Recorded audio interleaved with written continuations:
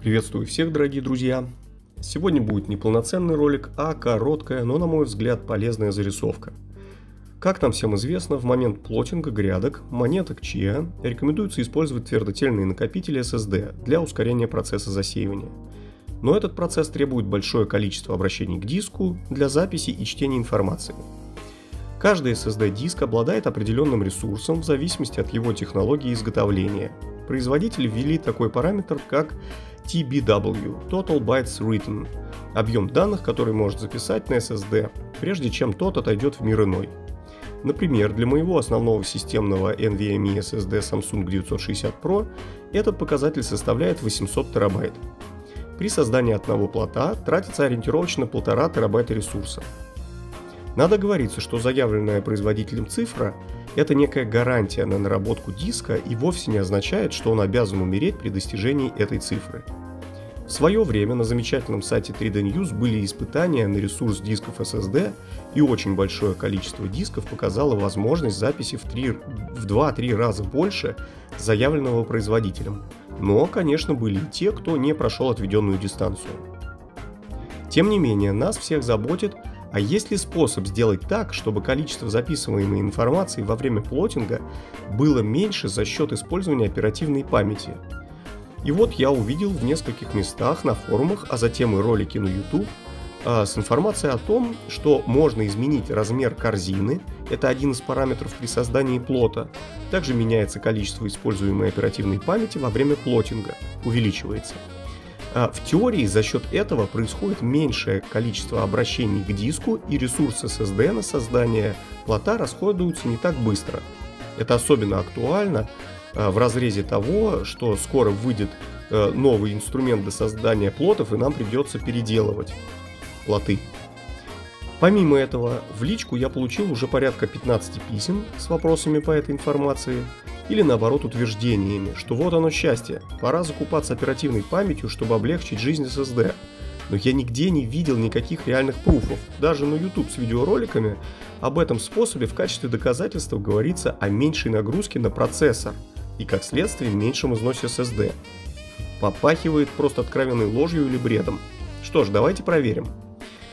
Тест я проводил не на моем обычном компьютере, так как он безустанно трудится в засеве, и отрывать его не хотелось, а на отдельно стоящем ноутбуке, который обладает Intel Core i7, 10750, 16 ГБ оперативной памяти и 500 ГБ NVMe SSD. Нас интересует всего два параметра. Первый – это скорость создания плота, и второй, самый главный, ресурс на это затрачиваемый SSD диском редактором с, э, редактируем скрипт PowerShell, э, чтобы корзина была как по умолчанию Q128 параметр, количество используемой памяти также по умолчанию 3390 мегабайт, запускаем и получаем следующие результаты.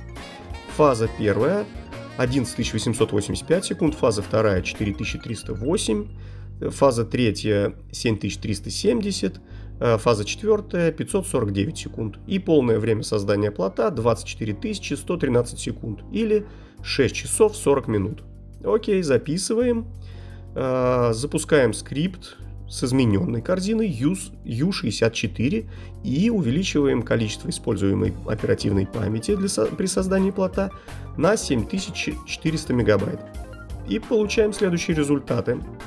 Фаза первая 11873, фаза вторая 4265, фаза третья 9856, фаза четвертая 748. То есть общее время создания плота 26744 или 7 часов 25 минут. А время создания грядки увеличилось. Это неприятно, но может это достойный компромисс, и мы получим меньшее количество записей на SSD? Давайте смотреть. До проведения тестов состояние диска было следующее. На чтение было потрачено 3200 гигабайт и на запись 2270 гигабайт. После создания первого плота с обычными параметрами и корзиной по умолчанию U128. Чтение стало 4721 гигабайт, запись 3676. То есть прирост и затраченный ресурс SSD составил на чтение 1521 гигабайт, И на запись 1406 гигабайт, то есть по полтора терабайта, как и предполагалось. И теперь внимание! Результат после второго плота с измененной корзиной U64 и используемой оперативной памятью. Барабанная дробь. Итак, чтение 6233 гигабайта, запись 5048 гигабайт, то есть прирост по чтению 1511 гигабайт и запись 1372 гигабайта. Друзья, ну это просто смех и слезы. Разница на уровне погрешности. Дорогие мои читатели, не верьте всему, что пишут на заборах, да и всему тому, о чем говорят на YouTube. Как говорится, отрицательный опыт тоже опыт, особенно если его приобрел кто-то за тебя. Всем большое спасибо за внимание. Высказывайте свое мнение, оценивайте видео, оставляйте свои комментарии. Подписывайтесь. Спасибо и пока.